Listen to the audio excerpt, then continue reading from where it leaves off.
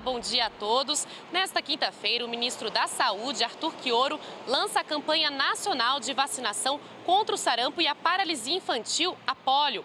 A vacinação começa dia 8 de novembro em todo o país. Serão imunizadas crianças com 5 anos e a vacina contra a polio é somente via oral, apenas duas gotinhas.